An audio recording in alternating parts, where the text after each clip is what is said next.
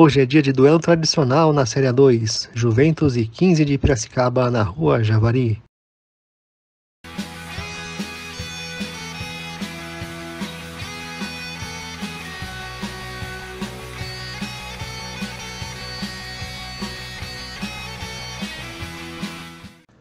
Pois é, amigos do Manto Juventino, mais uma quarta-feira de jogo aqui na Rua Javari, mais uma quarta-feira de futebol para o Juventus.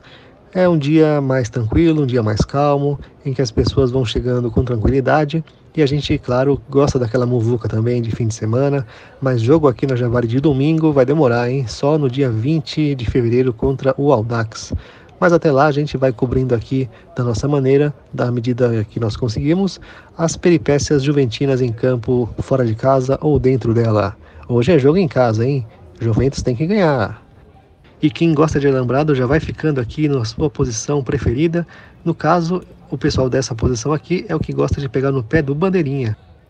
Aqui onde fica o setor de cadeirantes e esses banheiros, antigamente ficava uma arquibancada de madeira que aumentava a capacidade da Javari. Hoje não existe mais.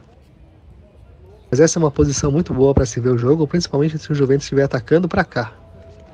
Não é pegar no pé, mas os dois times são patrocinados pela Superbola e estão usando o uniforme do ano passado ainda. Já é a terceira rodada e nada dos uniformes novos chegarem, e já foram lançados. Como eu falei agora há pouco, 15 de Piracicaba e Juventus fazem um encontro muito tradicional aqui no futebol de São Paulo. Foram 90 jogos até hoje entre esses dois rivais, com 41 vitórias juventinas, 29 vitórias piracicabanas e 20 empates. O Juventus jogava bem, tinha o controle do jogo, dominava as ações, mas precisava que esse domínio se transformasse em gol. Nesse lance, o Igor Bahia bateu cucuruto com cucuruto com o adversário. Isso fez com que ele usasse uma touca no resto do jogo na cabeça. Isso impediu ele de usar cuca? Não, olha só. Na ponta, Lázaro, pela direita. Lázaro vai cruzar, cruzou no meio da área, Bahia,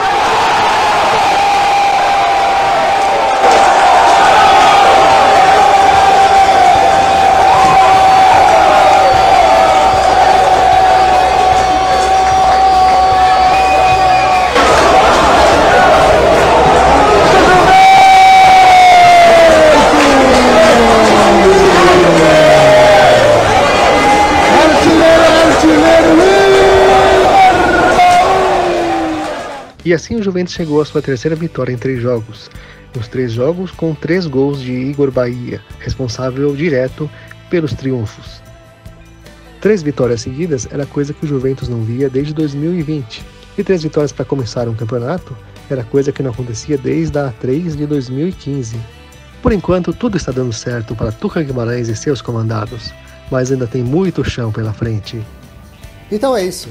Essa foi mais uma história do canal Manto Juventino para vocês. E se vocês quiserem ver mais coisas como essa, coisas sobre futebol, camisa do Juventus, é só acompanhar os próximos vídeos. Se inscrevam no canal se vocês não forem inscritos, curtam o vídeo. Se vocês acharem que vale a pena, compartilhem com seus amigos juventinos, seus amigos que gostam de futebol. A gente se vê no próximo vídeo. Até mais!